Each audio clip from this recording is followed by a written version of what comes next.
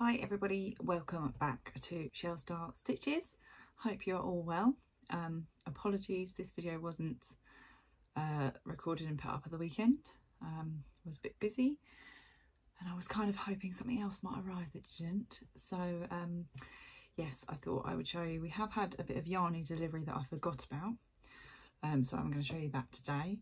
Um, firstly, I finally finished my uh, Wee Woolies tester kit last night that I have obviously mentioned to you, but I can't tell you anything about. Um, so that's finished. So I need to, so the next steps for me tonight are, um, I've actually got a little template that I created when I first started testing for Lisa. I've got away all the leftover uh, yarn in the kit that she sent and then I'll start to just type up the pattern not not retype it but any bits that, that I've noticed maybe if there's a slight grammar mistake spelling mistake or if anything um, didn't quite flow right with the pattern um, there's not normally much to be honest. Um, with Lisa's she's not well, I normally don't spot really anything particular. Um, I think it was just maybe one one spelling mistake or, or something in the middle there but um, I note them down with pencil all over the pattern. So I'll type that up and get that over to Lisa for this evening. Um, so then she can finalise and get ready for the new kit whenever she chooses to release that. Um, Toft Advent Calendar did go on sale last Thursday, the 28th of July. Um, it went up, well, I ordered mine at 10 to 4 and it had gone up a couple of minutes before that. So they normally aim their updates on the website for about four o'clock. Um, so Mad Dash quickly got in there. Um, by Friday morning, I think they only had 20% of the stock left. At last check yesterday, there were sort of late yesterday evening, there were still some left. So if you are keen, maybe, and you've just seen this video tonight, Monday night, go and check the website, see if you can find one if you're interested because they were super, super strict on their their numbers of what they can achieve um, and what they can get out to everybody.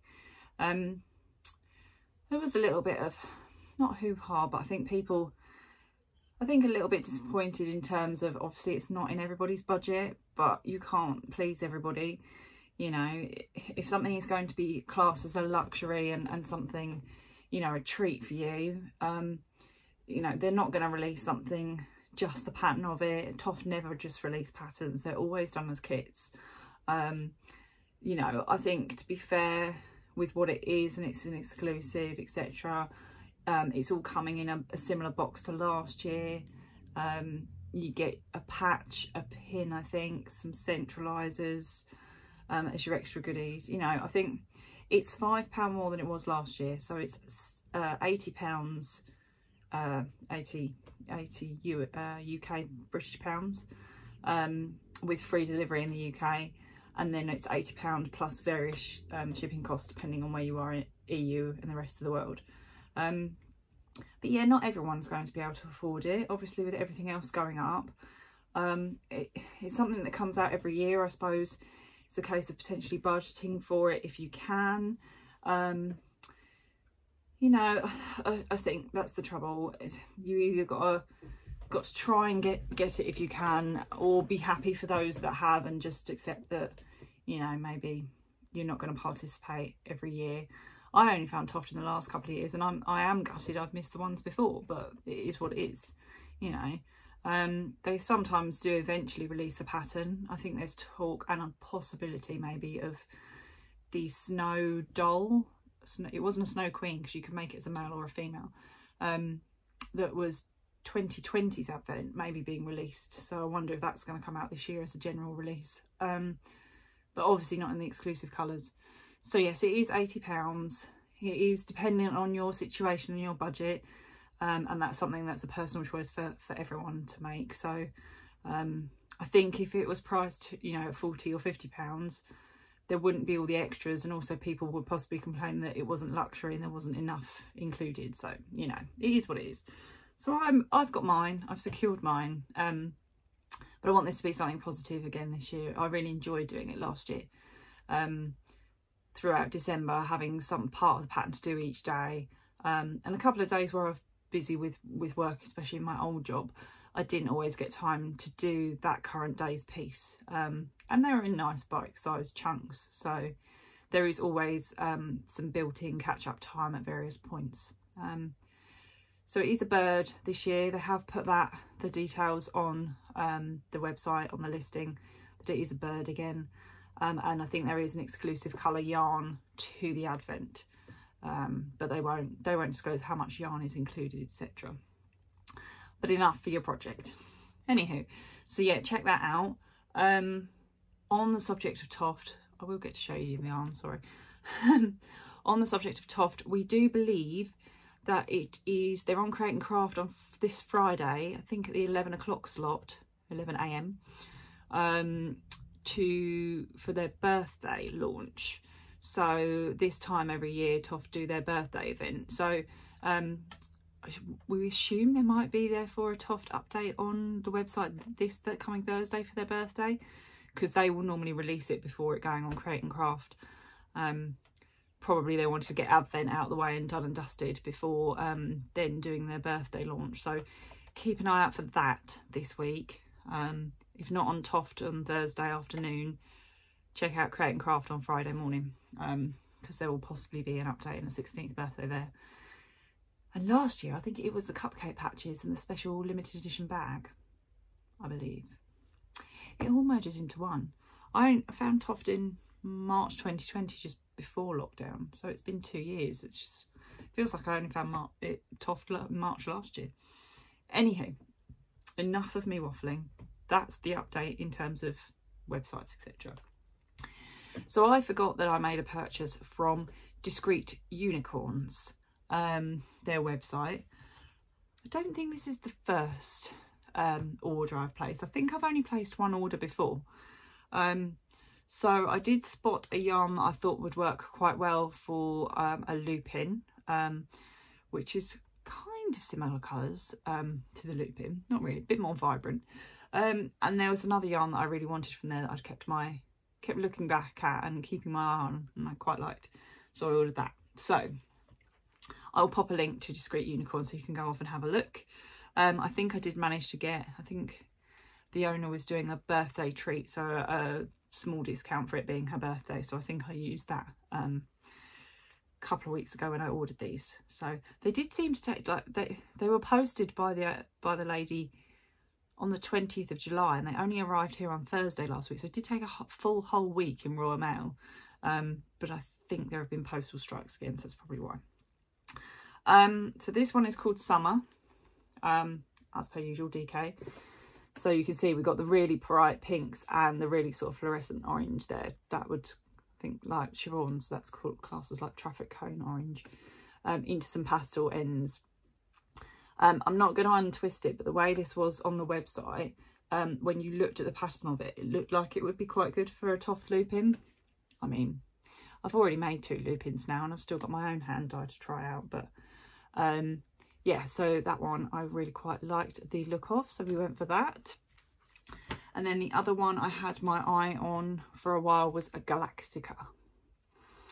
Very much my sort of colourway, purples, pinks, turquoise, etc. Sort of ice, I always call it icy tones of uh, blues.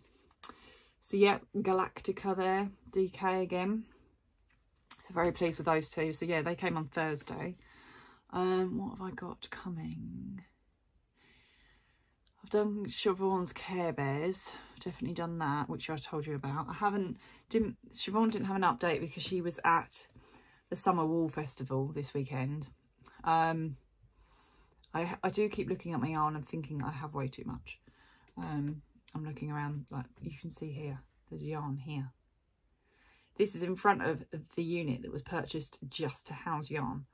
Um, but yes, now that I finished the tester kit, I want to get back on with my Delphinium, get that finished.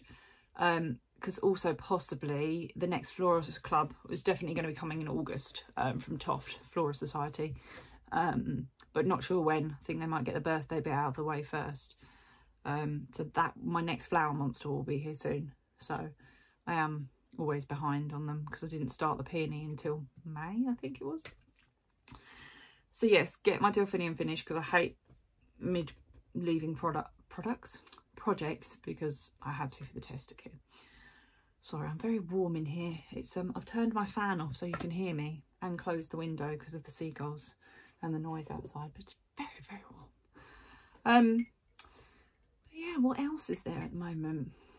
I downloaded actually, I saw on, I cannot, I'm really sorry, I can't say her surname. It's Tinna, and she did um, the mosaic crochet blanket that I did. I think I showed that to you before, quite a way back.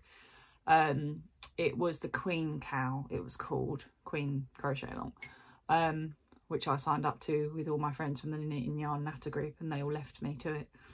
And I was the first one to finish for a long, long time. um, on her group, she had a new shawl pattern that's just come out and it's called Akira, which is K-I-R-A. I'll pop a link so you can have a look because she's got a website and she's on Ravelry. Um, I'm quite pleased because I managed to get in there last night and until the end of July she had a 50% off code um, for it. So I think it was three three dollars twenty five cents I think um, for the pattern, about two quid. Um, so I'm going to have a look at that as well because the only shawls that I've done have been the um, I think it's the it's called Monterey, yeah, from Toft, um, and I'd like to try something a bit different. Um, and I've got a sort of gradient set behind me. No, it was behind me. Um, from Woolly Mamas, um, which I'd like to use for it. Actually, I have purchased some more yarn. I've got Woolly Mamas to come. That's what I was waiting for to show you with this. I was hoping it had arrived because um, they had a sale. So I got another pack. That's what it was. I bought another pack the same as what I've already got to try and make a nice large shawl or two of the same. Give one away. Um, sorry, digress there. Yes, so the Kira shawl from um, Tinna and it is a beginner one, uh, beginner pattern. Um, looking at it, I've only just briefly looked at it since downloading it. It's written in US terms, which I think her Queen CAL was. And I think it's obviously for UK, it's double crochet and treble crochet. Um, but obviously for the US terminology, it's a single and a double. So I don't think it goes any higher than that. Um, and I think you're working in the gaps by the looks of it. And Tinna's got um, a full YouTube video um, to go with the pattern, which is what she did with the Queen. And she broke that down into sort of weekly patterns and um, videos as well. So um, yes, I'm going to have a look at that maybe after my flower monster is done. But anyhow, I think I have probably waffled enough today. Um, we're getting close to my year of being on YouTube. Uh, September I started it last year. Um, I am still quite amazed that there are so many of you following me. And I know in the grand scheme of things, people will be like, oh, that's not many followers. I think there's 215 or 216 of you. So thank you for being here. To me, I'm really, really chuffed. I, I thought it would be me talking to myself all the time. So the fact that, that over 200 of you are here watching me waffle um, is really appreciated. Um, yeah, so I really, really appreciate it. And try and get some more um, you know different videos and content and stuff that we can to try and vary it up for you sorry short interlude there husband thought i was still working and was bringing me in a cup of tea um, didn't realize i was recording my video um yeah, so thank you for for joining. I really appreciate all of you coming along and following. Um try and have some different ideas from some content because i do worry i'm just sitting here showing you everything i'm ordering that's arriving. Um, but I think as we get into winter more as well, sort of autumn and winter, I'll be doing a lot more projects because sit in front of the TV, the weather's rubbish in the UK um, and working my way through. So, and also a lot of the yarn festivals also start um, sort of September onwards. So i have got definitely got one booked in in September and I want to try and go back to Ali Pali in October. So there'll be some more haul videos hopefully for you to see um, and I'll try and video some content when when I'm at the shows so you can sort of have a nosy through me and have a have a little walk through um, but yes I'll let you crack on with the rest of your evening thank you for watching um, as always um, like comment if there's anything you want to see I know some of you have sort of said you know you want to see where everything lives or look at my craft room we've done the tour um, if there's anything else you want to see, let me know. Um, I will promise that if there's anything in my craft room, we have to normalise the craft room. Looks like an absolute tip, even though it keeps getting tidied. Um, but yes, it is my craft room. So it is my little sanctuary where I can just do whatever and dump my parcels in a corner while I'm working from home. Um, but yeah, so have a good week and um, I will catch you again next time. Thanks for watching. Take care. Bye.